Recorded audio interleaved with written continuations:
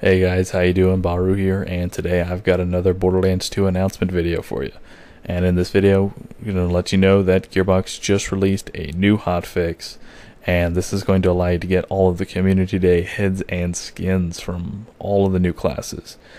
And what is where are you going to get these from? You're going to get them from any basic enemy in the game. So that's just regular bandits, regular Varkids, any sort of non-badass enemy is going to be able to drop these heads and skins. I did say it's going to be very rare, and I didn't say how long it's going to be going on for, but you will be able to get them in-game currently. Just make sure that you have the most recent hotfix when you log into the game. Uh, if you are unable to get in game and get these heads and skins, don't worry. They will be releasing the heads and skins via shift code uh, on Community Day, which is Saturday.